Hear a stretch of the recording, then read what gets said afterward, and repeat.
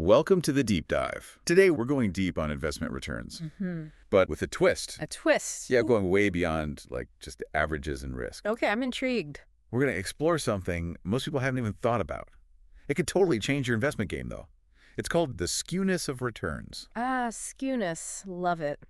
And you actually sent in a paper on this. Portfolio size, portfolio composition, and the skewness of returns. Yes. This paper is really packed with insights about how the types of companies you invest in and even like the number of stocks you hold can really impact your chances of hitting those massive gains. So it's not just about, you know, finding a stock with a high average return. There's a whole nother layer of analysis we should be doing. Like most people don't even know about this. It's true. Most people don't. You could have two investments, same average return, same risk level. Okay. But the one with positive skew, that's the one that's going to have a higher chance of those huge, like, outlier returns. Thank you for tuning in to Quantopian's Quant Radio, your AI driven podcast exploring everything related to quantitative finance. If you enjoy this episode, don't forget to like and subscribe to stay updated on future releases. For more quant focused content, join us at community.quantopian.com. There you can explore a wealth of resources, connect with fellow quants, engage in insightful discussions, and enhance your skills through our extensive range of online courses. Quant Radio is intended to help people develop their knowledge and skills in quant finance. This podcast is not intended to provide investment advice. And now, back to the episode. Okay, I'm starting to get it. But let's back up for a sec. Sure. What exactly is skewness? I'm not going to lie, it's not a term I hear every day. Right. So it's all about the shape of the returns. Like, imagine a graph, right? Okay, yeah. Plotting all the possible returns of an investment. Okay. If it's perfectly symmetrical, like a bell curve, we say it's uh, normally distributed. Hmm. But if it's, you know, lopsided, longer tail on one side, Yeah. then boom, it's skewed.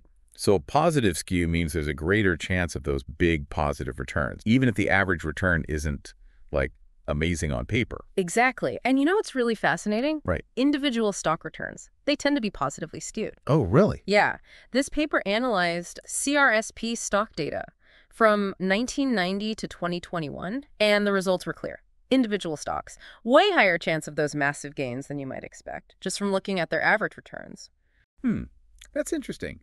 But wouldn't that mean that a portfolio of stocks would also be positively skewed? You'd think, right. I mean, you're just like combining a bunch of individual stocks. That's where it gets really interesting. The research shows something else. As you add more stocks to your portfolio, the skewness actually flips. It becomes negative. Hold on. So you're saying diversification, which is supposed to be Yeah. like the golden rule, could actually reduce my chances of hitting those big returns. It's kind of counterintuitive, right? Totally. It is. It's a key takeaway from this paper, though.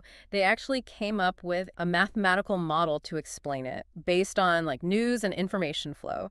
So basically, when you have a lot of different stocks, Okay. any positive news that might like impact one stock, it's likely to be offset by negative news impacting another. Oh, I see. So it dampens the extreme positives. Makes it more negatively skewed. Yeah, exactly. Yeah. So it's almost like you're trading the chance of massive gain for a like more stable but maybe less exciting return. That's a good way to put it. Of course, diversification is still, you know, super important for managing risk, but it's not a perfect solution. It's about finding that sweet spot between reducing risk and keeping the potential for those outsized returns. So if someone's really after those home runs, they maybe need to rethink too much diversification. It's something to consider for sure, and it gets even deeper. The paper shows the types of companies you invest in also make a difference to the skewness. Okay, now I'm really interested. Tell me more about that. What did they find? Well, they found some pretty interesting stuff. Like, for example, portfolios that are really heavy on large companies, you know, those established players. Yeah, like the big blue chips. Exactly. Those tend to have more negative skew than portfolios that are more focused on smaller companies. Hmm. So those big safe companies maybe aren't the best bet if you're looking for those massive gains. It's not that they're bad investments or anything. They can definitely be good for stability, dividends, all that. Right. Right. But if you're really gunning for like those 10x, 100x returns, Yeah. the research suggests that smaller companies might be where you want to look.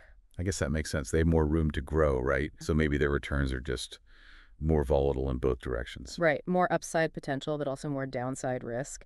And the same logic actually seems to apply to growth companies too. Okay. You mean those companies that are like still in their early stages, lots of potential, but maybe also lots of uncertainty. Yeah, exactly. They found that portfolios with a lot of growth stocks also tended to show more negative skew. Interesting. So large companies and growth companies can both contribute to that negative skew. What about the green companies? Hmm. You know, the ones everyone's talking up these days, the ones focused on like sustainability and all that. Oh, yeah, they actually looked at those too. And this is where it gets kind of surprising. I bet. Did those green companies, with all the hype around them, do they have positive skew? Mm. Like you'd expect, right? I think so, wouldn't you? Yeah. But actually, no. They found that portfolios of green stocks actually had more negative skew than portfolios of brown companies. Well, that's really surprising. Why would that be? I mean, you'd think with all the excitement around green technologies and all that, those companies would have a higher chance of those big breakout returns. It's a good question. And to be honest, the paper doesn't really have a definitive answer, but there are a couple of possible explanations. First, you know, we were talking about growth companies and how they tend to contribute to negative skew. Yeah. Well, a lot of green companies are still in those early stages, right? They're, you know, innovating and disrupting things, and that just comes with a lot of uncertainty. So basically, while there's like a ton of potential in the green space, those companies are also more likely to have those big swings in either direction, making their returns more negatively skewed. That's one way to think about it. Plus, the green sector is still pretty new and it's changing so fast. Yeah, true. Like regulations are changing, technologies are developing, consumer preferences are shifting. It's just a really dynamic environment which can make things more volatile. And that volatility could be contributing to that negative skew. So it's like there's this kind of paradox. Yeah. On one hand, a lot of investors are excited about green companies because they see the potential for big returns, you know, with the whole transition to a more sustainable economy and everything. Right. But on the other hand, the very things that create that potential, like the growth, the innovation, the fact that everything is changing so fast, those things also contribute to that negative skew, which means there's a higher chance of, you know, significant losses. Yeah, it's a great way to summarize it. And it really shows how important it is to think about skewness as a separate thing from like risk and average returns. Yeah, that makes sense. It's not enough to just look at those traditional metrics. You got to look at the whole picture. You know, the shape of the returns, those potential extreme outcomes to really make good decisions. This has been like really eye-opening. I'm definitely going to have to rethink how I approach building my portfolio now. Glad to hear it. Before we move on, though, I do have one more question. Yeah. This research, it was all about U.S. stocks, right? Right? So what about other things like bonds or even, you know, those crazy cryptocurrencies? Does skewness work the same way with those? That's a great question. And it's something we should definitely talk about. Skewness isn't limited to just stocks, you know, it's relevant for all sorts of different asset classes. And understanding how it works in each one can really help you tailor your investment strategy. Okay, so let's talk about how this whole skewness thing works with different types of investments. You were saying it's not just about stocks. Exactly. Skewness is relevant across the board. And, you know, understanding how it varies can really help you figure out how to approach, well, you know, your whole investment strategy. We were talking about bonds before the break, right? Those are usually considered like the safer option, aren't they? Lower risk, but also probably lower returns. Yeah, that's the general idea. And when you look at the skewness of bond returns, it kind of reflects that. They Mhm. typically have like much lower skewness than stocks. So those really extreme outcomes, both the big wins and the big losses, they're just less likely. Okay, so with bonds, you're less likely to hit a home run, but also less likely to, you know, completely crash and burn. Yeah, pretty much. It's all about that trade-off, right? Exactly. Bonds can be really appealing for people who, you know, really want to protect their money, get some steady income. But if you're really looking for those huge explosive returns, bonds might not be the most exciting place to be. Yeah, that makes sense. So what about something like crypto? Oh, crypto. I mean, it's known for being pretty wild, right? Those price swings can be crazy. So where does that fit into this whole skewness thing? Crypto is a really interesting case, actually, because the returns are often mm. super, super positively skewed, like even more so than individual stocks. You know, we've all heard the stories, right? People put in a little bit of money and boom, they're millionaires overnight. Yeah. But I'm guessing that comes with a downside too. Like, a higher chance of losing big as well. Oh, yeah, for sure. Crypto is incredibly volatile. The prices, they can go up and down like crazy. So, yeah, the Mhm. potential for those, you know, astronomical gains is there, but the risk of big losses is definitely there too. So with crypto, it's almost like like you're rolling the dice and hoping for the best. It's a high risk, high reward kind of game, definitely. And this is where understanding skewness is really important. It's not just about, you know, hoping to get lucky. It's about knowing that those extreme outcomes are possible. And then, you know, making decisions based on how much risk you're comfortable with. What are your goals? That kind of thing. Okay, so we've talked about stocks, bonds, even crypto. Mm-hmm.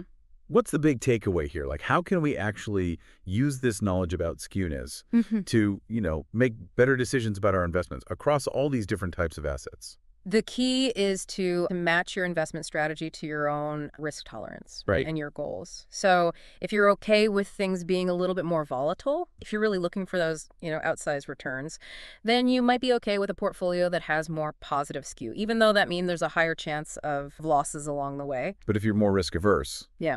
like if you really want to protect your money and just get like steady returns, Right. Then you'd probably want a portfolio with less of that negative skew. Exactly. It's about finding what works for you. Skewness is just another tool to help you understand the the whole picture. You know, it's not some magic formula or anything, but it's definitely something that can help you make smarter decisions. I gotta say, this has been a really fascinating deep dive. We've gone way beyond the basics here, talking about a concept that I'm guessing most people have never even heard of.